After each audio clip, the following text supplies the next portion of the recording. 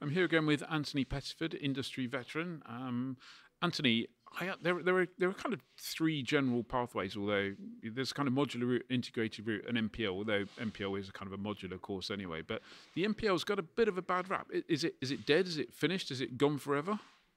Well, Ian, thank you for asking me a question about a subject that I was intimately connected with in its genesis um, in terms of uh, it being introduced into the UK.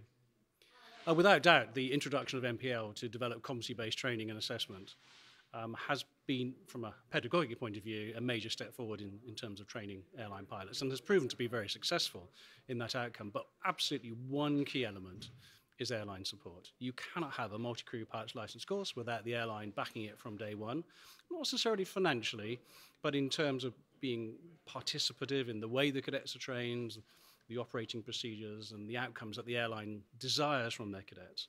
Without that airline backing, MPLs are not viable. And so at the moment, given the current state of the world, then we would expect that uh, MPL will be in a state of hibernation until the airlines, airlines are able to return back to the table and start supporting the, the objectives of the MPL going forward and hopefully helping with the financial situation as well.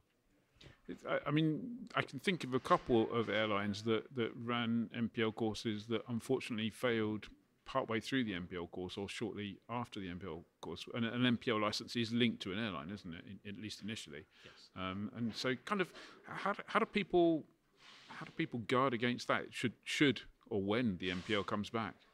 Yes. Uh, I mean, in terms of the original design of the MPL, there was a, a, contingency built into that. And certainly in my own day, when we introduced the first MPL at Oxford for, for EasyJet and Flybe, you know, we underwrote the reversion back to the integrated ATPL. And so therefore that parachute, uh, which was part of its early design, should, in theory, be part of continuing designs going forward because it's unreasonable to expect the cadet necessarily to, to underwrite that um, change in circumstances and them to share that burden. So hopefully going forward, that contingency will re-emerge and, uh, and therefore people will be able to complete their MPLs or at least revert to an alternative regulatory pathway and achieve their career outcomes.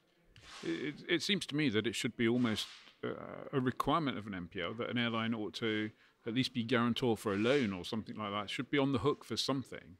Um, otherwise, as, as, a student undertaking an MPL, if you're putting all of the money up and you're tied to an airline and if that airline fails for any reason, and unfortunately airlines do fail, then kind of you're the, the students taking all of the risk there.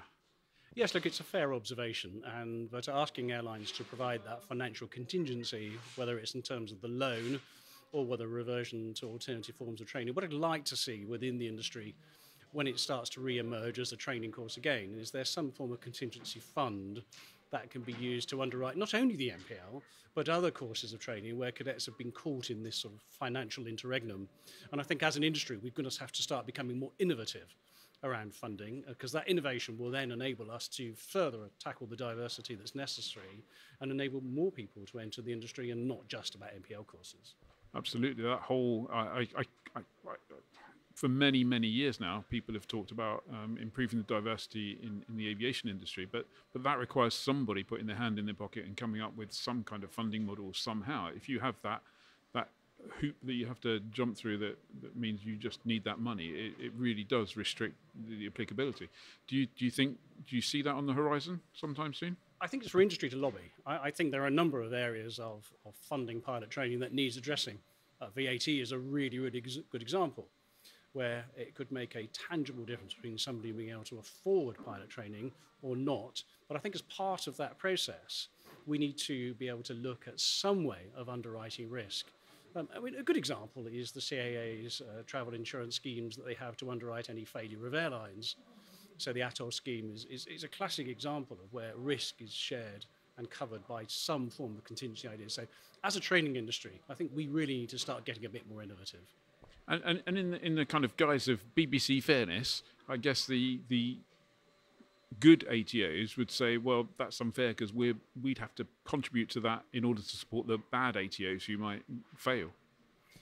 I, I think it's, it's, it's an observation that has validity without any doubt.